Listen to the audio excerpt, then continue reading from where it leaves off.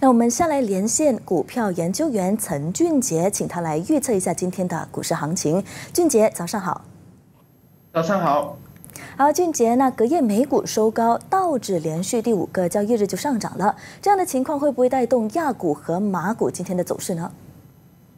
哦，那么啊，尽管昨日美股的上涨啊，但 KLCI 并没有跟随这个区域市场的走势，这是因为我们依然处在。业绩报告这个高峰期中，那么啊，中短期而言，我们依然认为 KLCI 指数呢将会依然保持着较啊盘整的这个状况，主要是因为高通膨的这个恶化，将进一步放缓这个经济的这个复苏。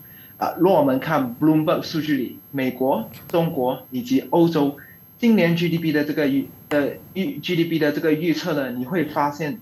二零二三年 GDP 的这个增长率将会比二零二一年以及二零二二年来的缓慢，而且美股美国持续收紧其这个货币政策呢，将使资金逐渐的流入美金，从而使我们马币保持一个较弱的这个状况了。若马币在持续的贬值的话呢，我们将会看见外资并不乐于投资于我们马股。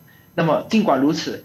啊，丰隆投资依然维持着二零二二年年底 KLCI 目标不变，在一千六百八十点。这是因为啊，马来西亚在乌克兰以及俄罗斯冲突中相对啊吸引了这个定位，以及经济的这个重新开放。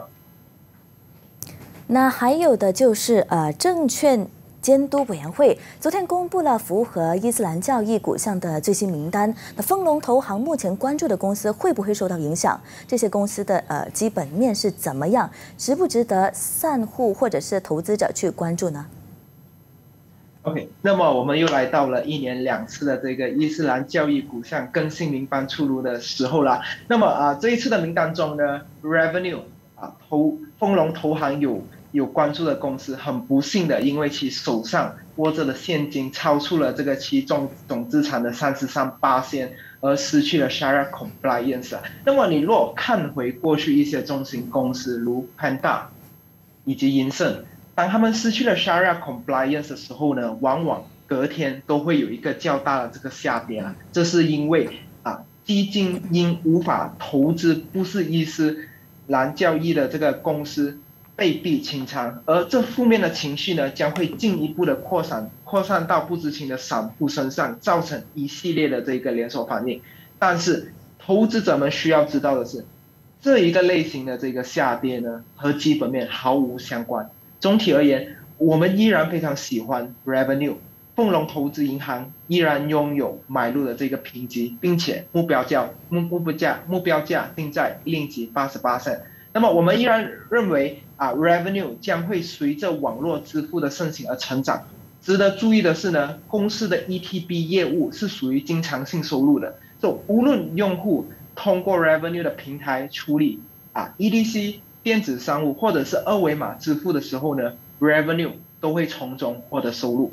而且，若我们看回 Banda 以及英盛因失去 Share Compliance 后的股价表现呢，你会发现到。在短短的二十五个交易日内，他们恢复了大部分的这个失地。所以，若今天 revenue 会因有因 share compliance 而下跌的话呢，我们认为这会是一个好的机会。